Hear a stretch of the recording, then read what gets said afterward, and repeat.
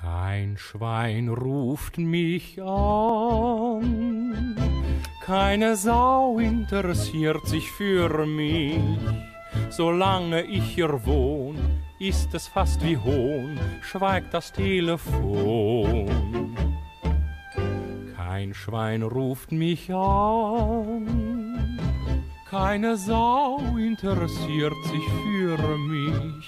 Und ich frage mich, denkt gelegentlich jemand mal an mich?